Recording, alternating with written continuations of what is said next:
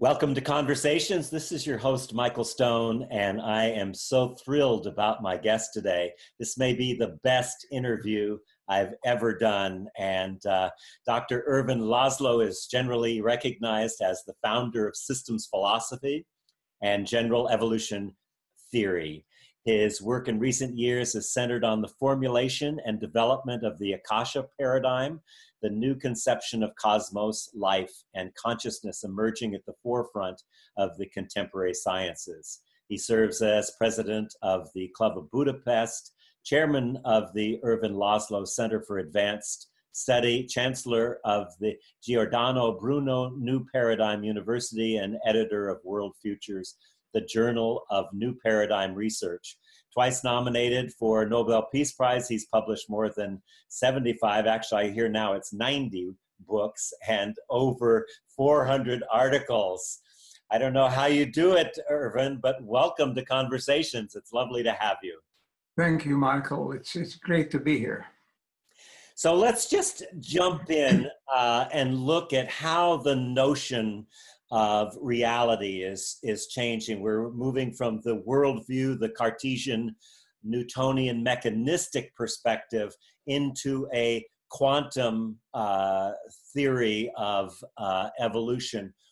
How how does that change reality? It doesn't change reality; it changes us.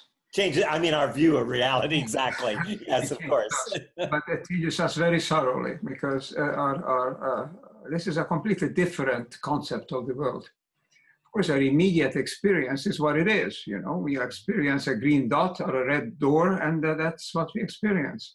But how we interpret it, see, now we're, we're recognizing it now very widely in, in science and in philosophy of science that the data that we get, the sensory data, any experience that we have, is capable of many different interpretations.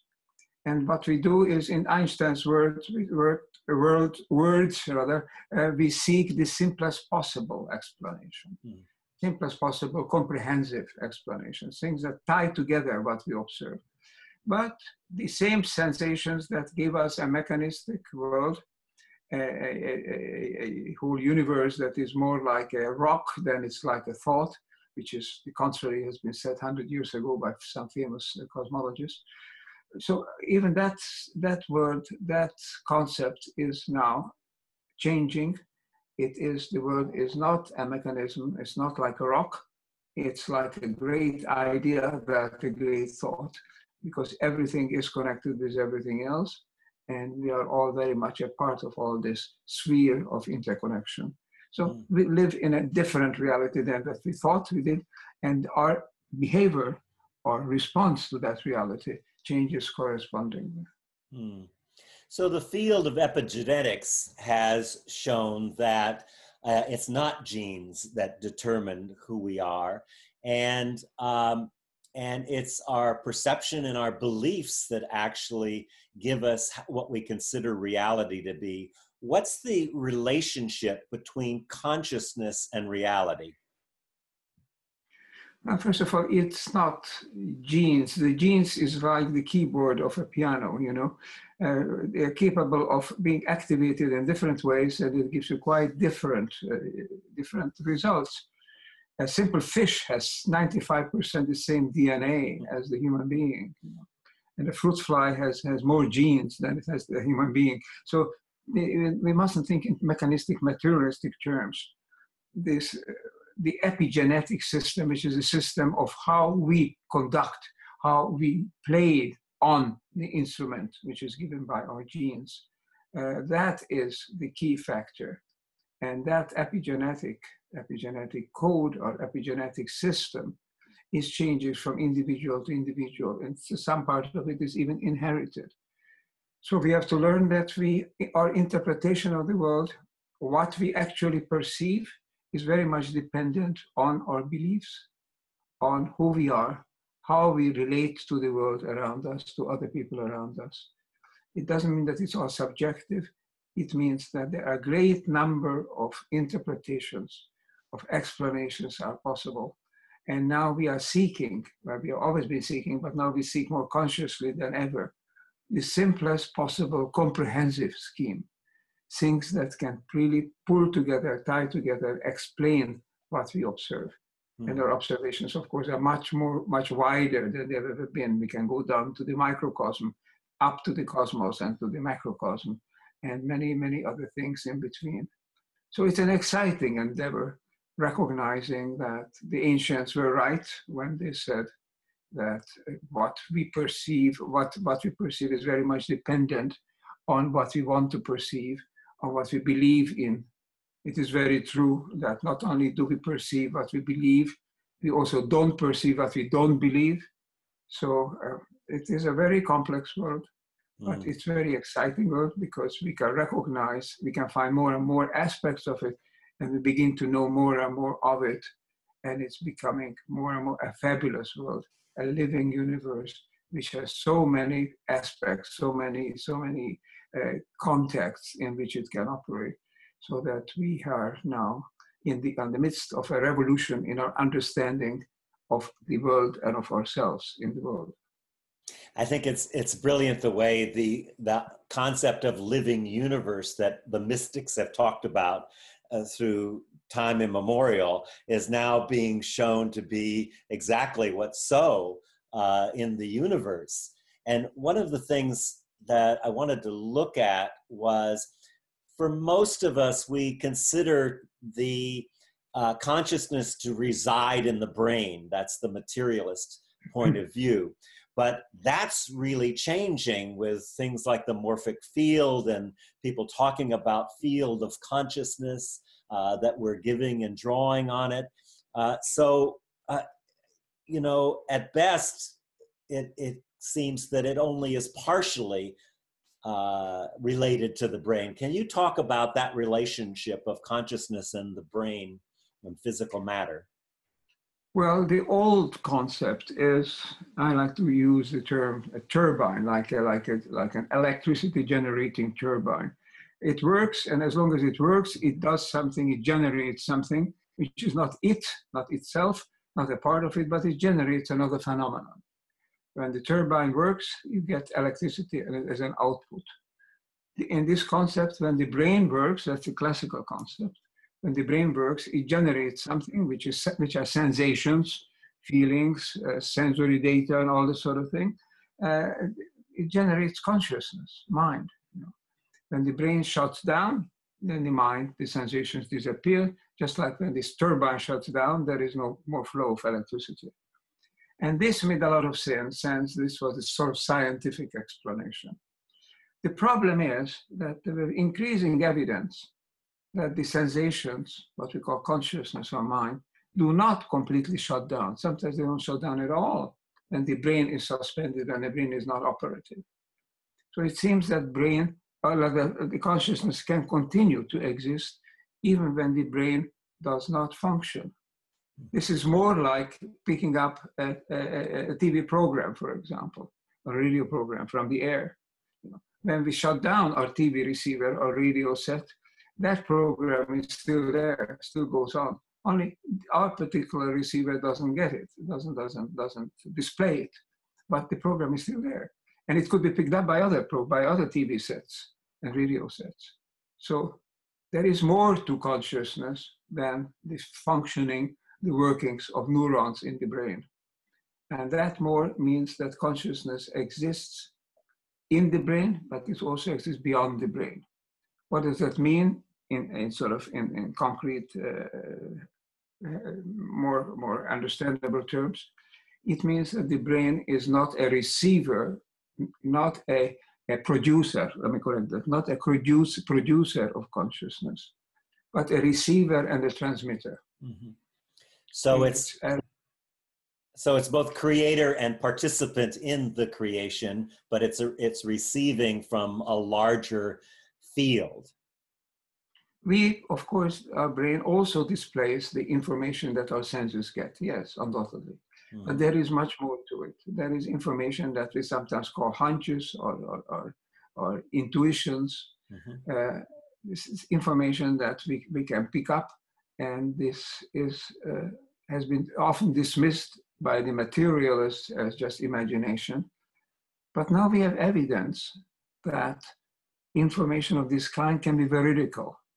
I've written a whole book together with a colleague of mine, Anthony Peake, called The Immortal Mind, which all full of, uh, full of documented case studies of conscious experience existing and operating in the absence of a working brain. So uh, we cannot no, we can no longer confine the workings of consciousness, the existence of consciousness to the brain. The mm-hmm. brain is there to transmit it, to display it. The brain is a transmitter, a displayer, but not a producer. The, the, the consciousness is something that is as much present in the universe as energy. And mm. now this, as we say, as matter, and much more real than anything that we have called before anything material. Energy and information are the ultimate realities in this universe. And our consciousness is made up of this kind of an informed energy that is in the field, in the field which is this quantum universe, this quantum cosmos. And in that, we are picking up elements of it we can go and talk about it much more detail about about the uh, holographic theory and all that. But just to say for now that, that the evidence is overwhelming now that consciousness can exist also beyond the brain not limited to the brain. The consciousness is much deeper much more of a natural uh, fundamental phenomenon than what we have thought would be just this kind of a fleeting display that we thought was produced by a brain. Well, I've had a personal experience of that myself. I died on an operating table uh, mm. and was dead for uh, more than a minute uh, in terms of no vital signs, no life hmm. signs. And yet I was kind of like a convex mirror watching the whole thing from above and also knowing that I could completely leave or come back, and I could tell you everything that was said uh, at the operating table when supposedly I was dead. So I, I have a personal experience of that myself. Well, Michael, that's amazing. That's wonderful. I've been, I've been looking for these experiences to quote. More and more of it comes through. Of course, one doesn't need to get so close to actually dying uh, to have these experiences. Uh, they, they can also occur in other states, in altered states of consciousness. But that you have this first-hand experience, then you don't need to be convinced that it is true. That consciousness is not simply a byproduct, it's a semi-product sort of, of, of a functioning set of neurons.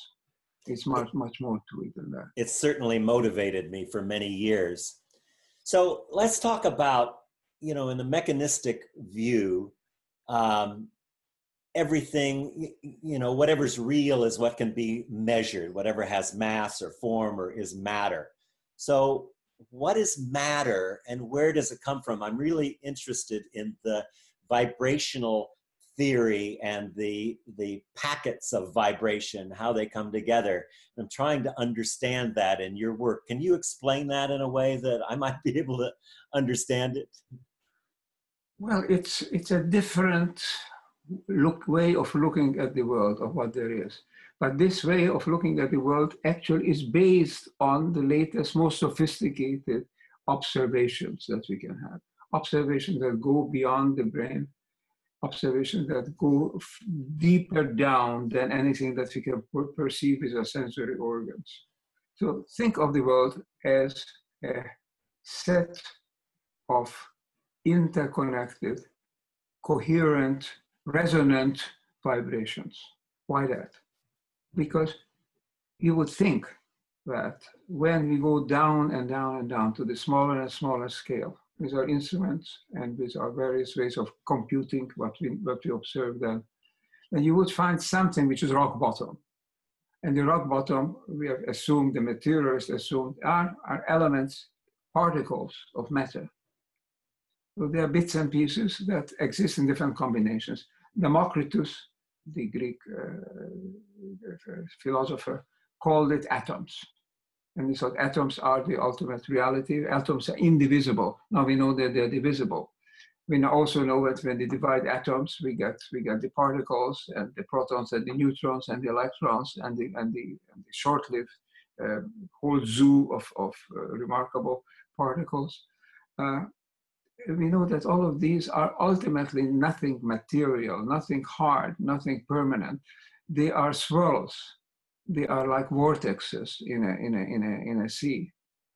They are, but they also have a characteristic which is resonance. Resonate. They vibrate with other resonances. So this was said already by many great scientists, uh, most remarkably, not a couple of decades ago by Max Planck, who explained that uh, ultimately the reality of the world is the set of vibrations of which make up the atoms. And he said, after all my work in the, in the field of science and the most hard-headed type of science, looking at, at atoms, can tell you there is no such thing as matter. And because, because what we ultimately find are elements of as something which can be best expressed as resonant vibrations. And these things are interacting among themselves. They create sets, they, they come in sets. I would call them clusters. And when they are in, in phase, when they are well tuned together, then they give you the impression of being an entity.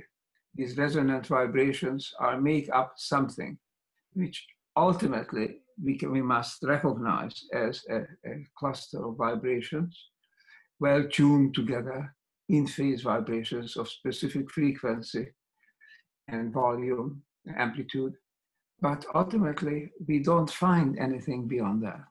Now, there's a, a nice cop out in a way, say, okay, so it's probably the universe vibrates, or probably the rather the, the material universe vibrates. There's something matter that vibrates, and we perceive the vibrations. Only when we take away the vibrations, we don't find anything.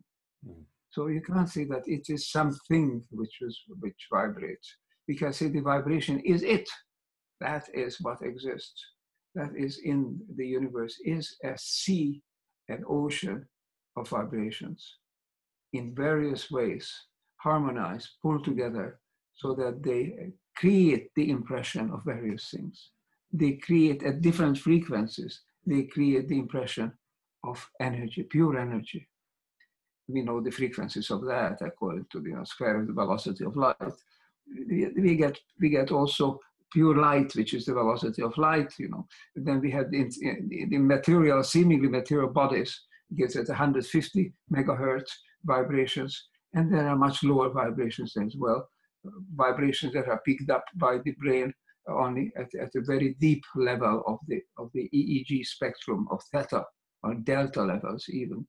And they get, they look like they are called often transcendental experiences. So what we have and the, in the last analysis is a sea of vibration, which is interacting, which is constantly joining together, constantly forming and reforming. Everything that happens enters into the sea of vibrations. Everything is enriching it in a way. It can be enriched positively, or it can be made less coherent, uh, because if you are, if our vibration with which you enter into it is not consistent, not coherent with it, but it's there. Basically, what is there is this mind-like, mind-like quantum system which interacts, which evolves, which joins together, which creates sets and clusters and makes us see the world, experience the world as energy, as field, as wisdom, even as information, and seemingly uh, many aspects of it as, as something, something material, mm. which I said in last analysis disappears. It's not there simply as material. Hmm. So it's a remarkable universe, and uh, we are much more part of it, much more a living part of it than we ever thought, than we could have been. Because in all materialist interpretations, the individual, the, the hmm. perceiver is outside. You, you look at it. You, you, are, you are just a, a witness, a spectator. But in the new concept, you yourself, we each of us are these clusters of vibration which we, we interact with, we join together with all the vibrations that are around us. all the things that happen. Of course, it's a very complex way of talking all the time about vibrations. You can talk about events, you can think about entities, items, uh, particles, whatever, as long as you don't think that there's something ultimately underlying it, which is hard bits of pieces like, like little pebbles or rocks. Mm-hmm. What there is, is this interactive, holographically whole, interactive totality of sets of vibration clusters, which we perceive as individuals, perceive as ourselves, as us, because we ourselves are clusters of vibration. We perceive as the rest of the world. But it's a different world. And I think it's a much more exciting world. It's a much more poetic world in a sense. But the reality is, the reality is not simple. Reality, you can make it, I'm trying to understand it as simply as possible but Einstein also said, when he said, make it as simple as possible, he also added, but not simpler. So the implications of this are, are startling and amazing. I mean, in a sense, you could say, I think, that we are then co creators of the universe in this. And that, when you, when you talk about coherence, uh, you also break it down into implicit and explicit coherence. So it seems like we are not in harmony, individuals, hu- the human species is out of harmony with the natural world, which would imply, I think, from what I understand. And by the way, I want to mention your new book, The Intelligence of the Cosmos Why We're Here New Answers from the Frontier of Science. Um, make sure that people uh, know that it's really um, a book to read more than once. So, would you talk about this idea of coherence because it's such a key issue and and, and how to be uh, how um, the, the difference between implicit and explicit, uh, our own, uh, say, if we're talking from an individual, our, uh, or an organization or a solar system, it, there's the implicit and explicit coherence. Can you share that with us? Well, just to pick it up from where we left it, what we can perceive as something, even though it's not a material thing, something in the world, is a set of vibrations which are coherent. Okay. Now, coherence is something that seems to evolve, that seems to emerge in this universe. When this universe was born, assumedly in the Big Bang, 13.8 billion years ago, according to latest estimates, uh, then there was a chaos. The first appearance was a tremendous energy burst in which there were no individual items, nothing, no, no individual particles even. Everything was a total super energetic chaos. And that, as the universe then settled down, cooled, and, and, and became more coherent, more and more coherent, to the extent where particles emerged, particles joined into atoms, atoms into molecules, into multi-molecular structures. Ultimately, planets appeared and in some of the planets, this, this coherence organizing, coherence generating uh, process has continued. So we are now at the point where there are, the universe is incredibly coherent. We find it more and more elements of it. Uh, you can even calculate it in terms of its, of, of its coherence. There is nothing, there doesn't seem to be anything that's totally outside of it. There's nothing completely unaffected by anything else so that there is no individual item which would be like an island. It's all joined together. It's all coherent, but not necessarily incoherent in such a way that it creates larger and larger coherent units. You can have decoherence in this world. Now, it's interesting, I should add, that in nature, as far as we know, because there could be other uh, forms of life uh, that we don't know, but in, on this planet, nature is intrinsically and, and intimately coherent. Nothing that is really truly incoherent will survive. All, any species, for example, that is not coherent with the surroundings will ultimately be, become extinct. we, we have to be coherent within ourselves. When we are, then we are healthy. That means that all the vibrations that make up or the cells of our body, all the organs and organ systems, they're all tuned together. And they are tuned for this ultimate, ultimate purpose or, or, or objective of maintaining that set of vibrations in the sea of vibrations, maintaining it as something individual. And that is means that it maintains us in this case as, as a unit, as an element, as a living being. And uh, this coherence is in nature positive, it's always there. But when something happened, when a level of evolution was reached by the human being, whereby you have something like free will appearing for free will and, and the possibility of choice, then this famous thing that I mentioned, we mentioned a while ago, about interpreting what, what we know, what we, what we experience. This could be done in different ways. We could see things in different ways, and some of the ways that we see them were not corresponding to what there really is. We could see them as, as we could we could become a see we could become a source of incoherence in the world and that becoming becoming that a, a non-evolutionary sometimes anti-evolutionary uh, element in the world is contrary to the whole evolutionary trend to the whole coherence, a generating universe around us and to be coherent as you yourself have just said means being coherent internally and externally, intrinsic and extrinsic. Intrinsically means health, bodily organic health, because all our cells, all our molecules, everything that is goes into our body is coherent with every other. That means coherent means in this case that it responds to, it is finely tuned with all the other things. So what happens to one cell, or one part even of a cell, is resonating with all the other cells, with all the other parts of the cells. It's all one system, highly intertuned system. When any part of it is not resonating and not responding, then it's disease. Then it's an illness.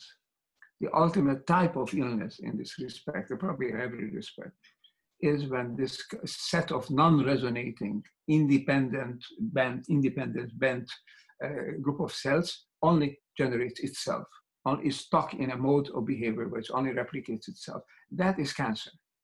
But other elements, when just a group of cells do not work well, do not pick up the information from the rest, are not really coherent with the rest, that's also disease. There are various kinds of disease, from the simplest disease of just having a sticky nose and, and, and, and a scratchy throat, uh, all the way to these fatal diseases. It all means breaks in the coherence of the organism. Mm. It's the internal coherence. But we mustn't forget the other side of the coin. If we don't act and join together with the world around us, with other systems, with nature, because we are part of it, if we don't act like it, if we don't promote that, then we are digging our own grave, practically, literally, mm. because then we have become inco- incoherent with the world.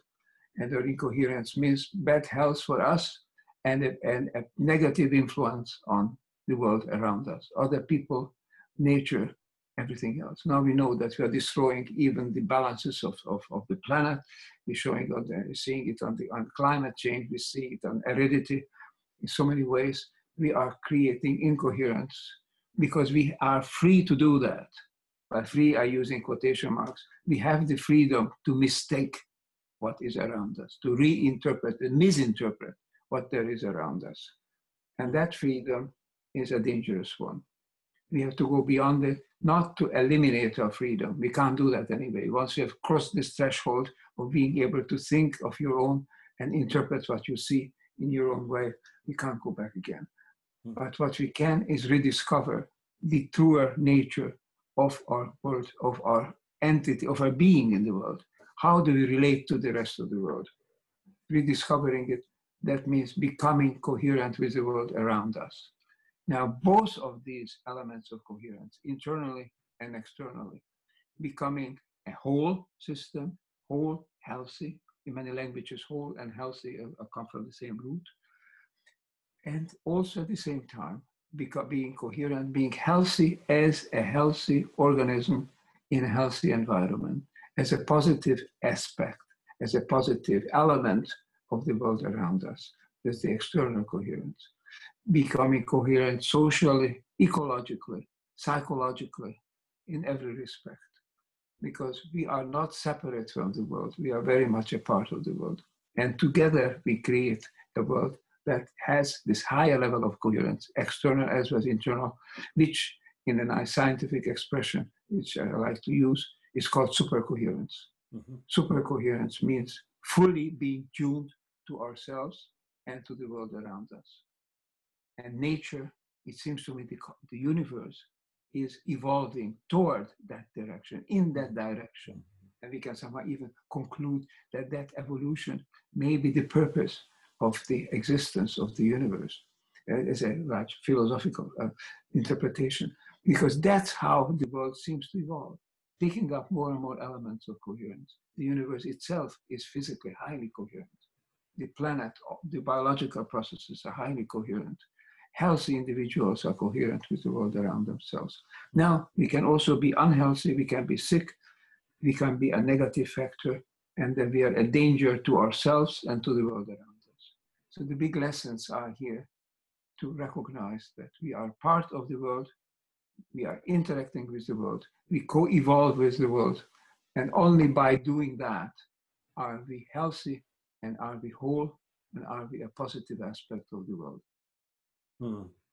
It, it's so amazing, Ervin. I, I, am so struck by the similarities to, as someone who studied shamanism and ancient um, uh, texts for a long time, the, the parallel, say, to the indigenous or shamanic point of view of um, soul loss and essence. They, they fit so much into this, this whole theory. We have a loss of essence, a loss of soul, and or we're incoherent or decoherent, I think is another term that you used, uh, with the universe and with nature.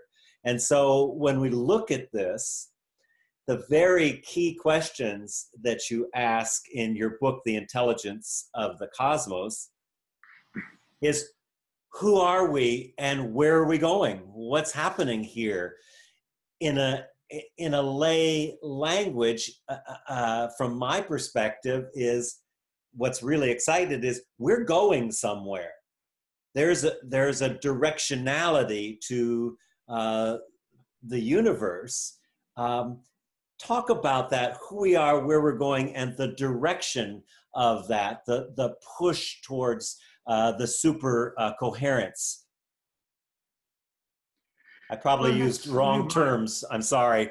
You know, I'm, that's I, correct. That's you're absolutely 100, 1000% right. Uh, let's remember this up to very recently, in fact, still today, the mainstream, the conservative mainstream of science insists on an interpretation which says there is no higher or deeper purpose in the world. Everything is a series of chance interactions. When you sort of, you have a soup with many different elements, you keep stirring it, and sooner or later the universe emerges. A series of chance interactions. That's all there is because it's very convenient for science, science, science and for scientists not to be bothered by factors that are not easy to pin down, such as there being a higher will, a volition, a purpose, something like this in the world. Rather to say everything is just happening. That's the way it happens to happen, and it creates the universe. The problem is this is that what is there, what is happening, is so complex that chance interactions are very, very unlikely, uh, astronomically, super astronomically unlikely to create this universe. You know, the, uh, the mathematical physicist um, Fred Hoyle once calculated uh, how long it would take, what, what it would take to unscramble the Rubik cube, you know, Rubik cube where you turn the 6 mm-hmm. faces of the cube. And if you start from any random configuration and you ask yourself how, how many how, how long would it take to reach, to be certain to, that you reach the uh, fully aligned configuration of all six sides, all the colors? And, it, and if you take, assume that it would take one second per move every twist that you give to, the, to this Rubik Cube, how long do you think it would take? It would take longer than the age of the universe. There are just so many possibilities. Mm. On the other hand, which is a nice example also for something else that you talk about, to talk about information and coherence. On the other hand, if you get feedback after every move, every twist, that uh, is it does it bring you closer to the alignment of all sides or or not if you get that information on the average you can do it in 120 different 120 moves which means by one second uh, a move which means in two minutes so information switches changes the scene from two minutes to more than the age of the universe. Now what i'm trying to say about this is everything around us is so complex, has so many different alternatives to it, that to reach the point where it is and to be able to stabilize that at a given point and further evolve, become more and more coherent, is astronomically, super, super astronomically unlikely to be a product of chance. It's not by mistake, not coincidentally. Evolution does have a direction, a directionality, if you like. It is something like purpose underlying it. We can't say who by who is that purpose. Not in the universe. It's not in space and time. It acts on the universe.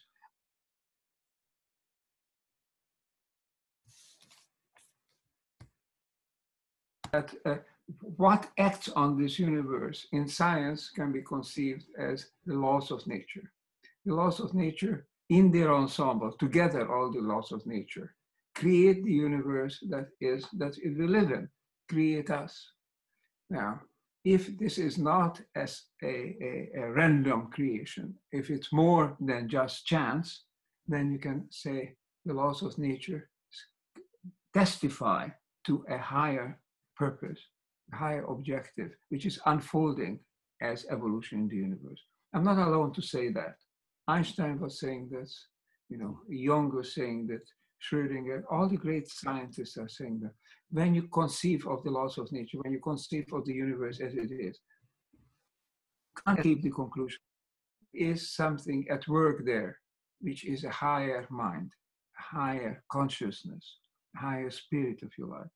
Something which is a design, but not a material, material, mechanistic design, not a machine that is made to work by a program, but is something that is emerging through those incredibly complex interactions.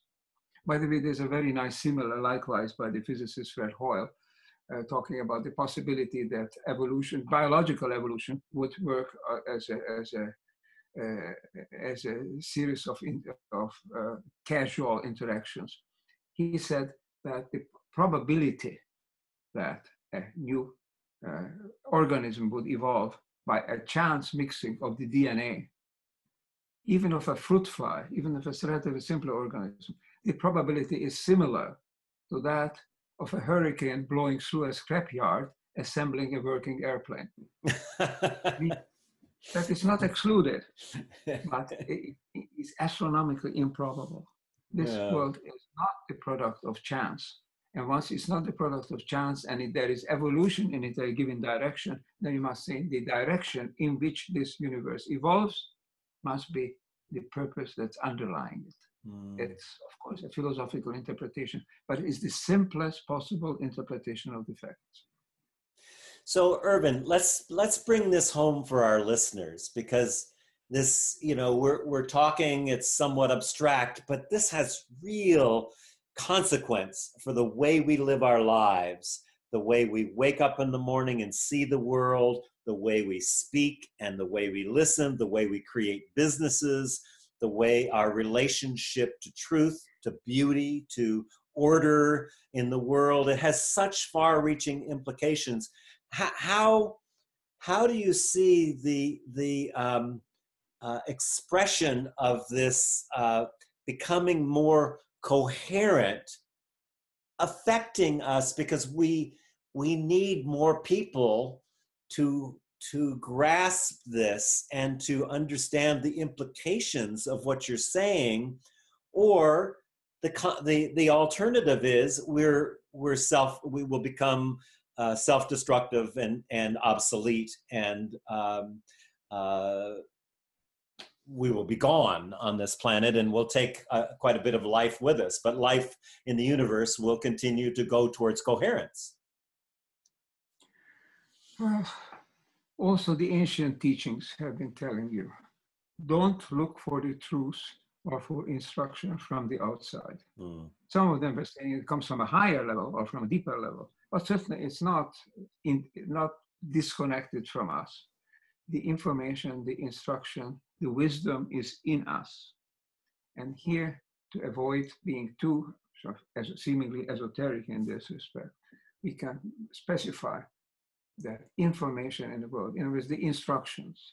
What are laws of nature are instructions how to how to behave for for, for particles of, of, of elements of what you used to call matter how to behave these are instructions so everything is basically information and this information is not separate is not separable it's a totality uh, you, you might think this is this is just hopelessly just speculative but the, the explanation is basically simple and understandable the information in the world the, the intelligence of the cosmos, which is title of my new book, uh, is a hologram. A hologram.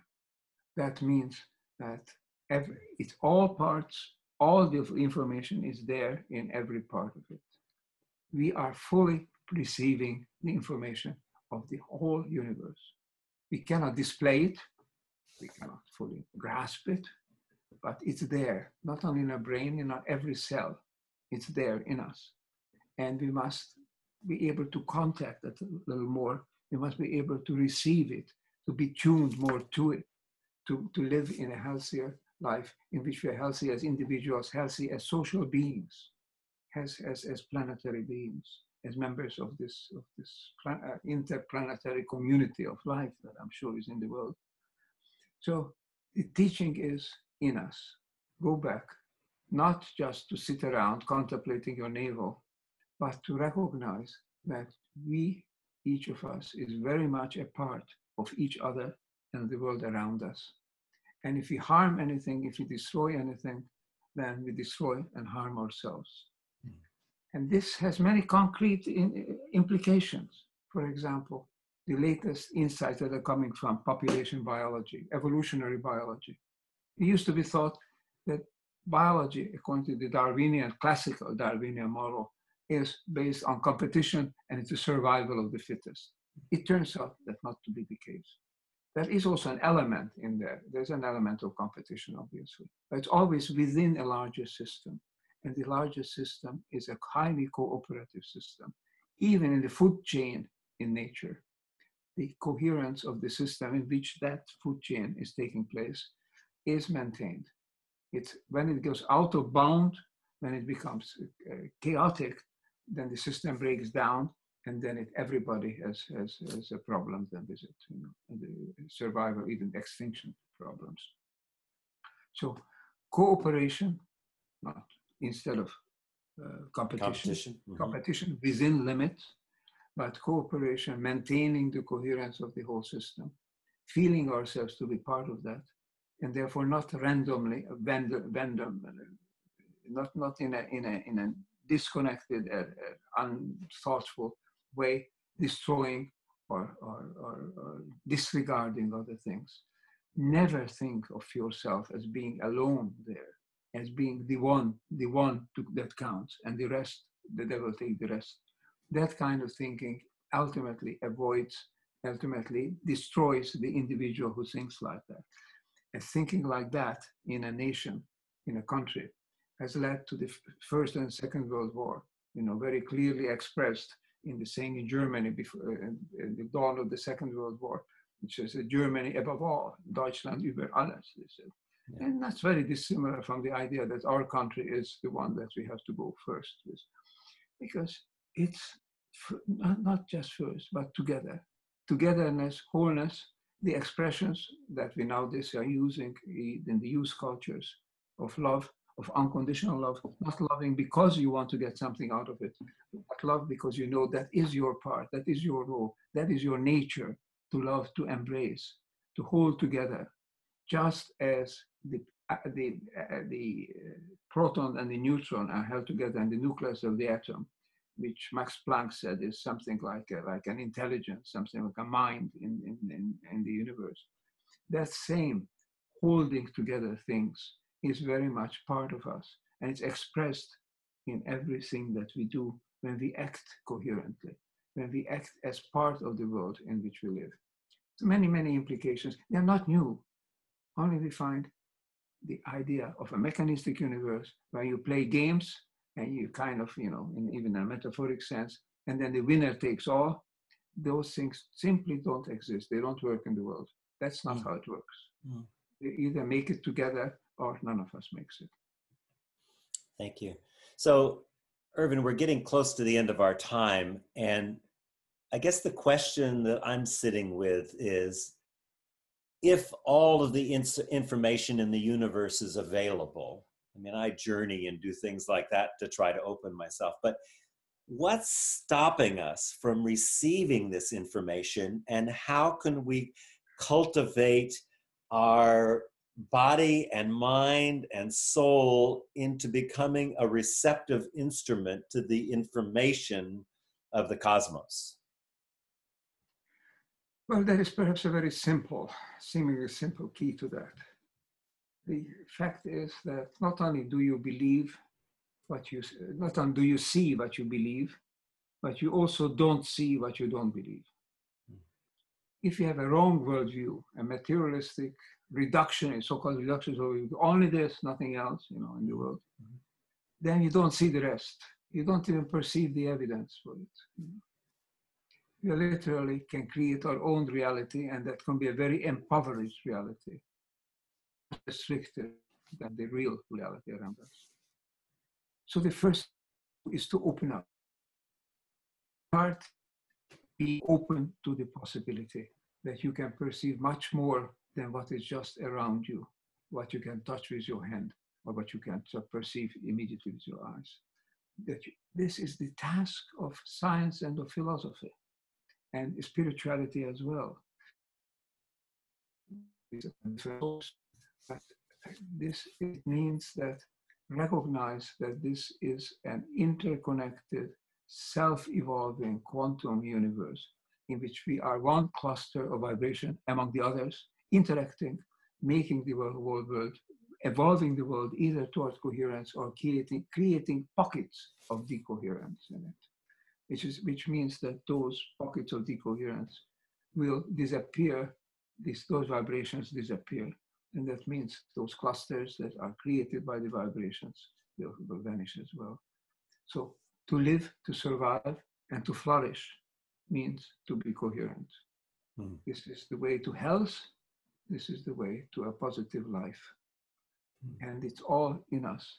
Recognize that, yes, if you are open to it, you can perceive not all of it, of course. We can't perceive all of the information that, that under which the universe runs, but we can perceive much more of it. And we can have a sense, a guiding, guiding intuition of who we are and where we are going.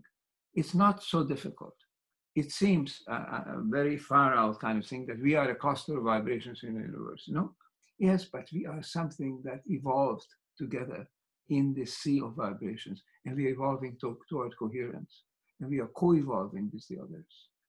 And if you recognize this, then we can be an, an agent of this co-evolution. We can be a positive factor. And I can't think of anything as could be a higher or more or deeper goal, uh, objective task in our life than to live up to that possibility mm. of hmm. becoming coherently one with each other and with the world around us.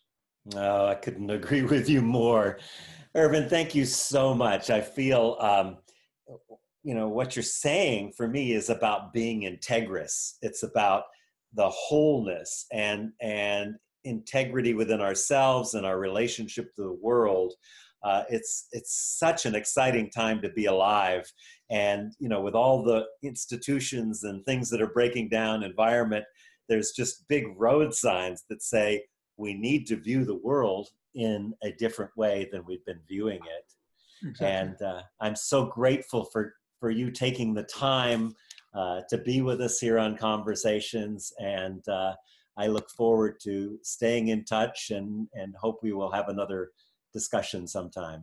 Thank you, because what you are doing is with these programs, raising these questions, discussing it, is paving the way for the kind of a deeper understanding that is the salvation of humanity. That is the way to health mm-hmm. and to flourishing.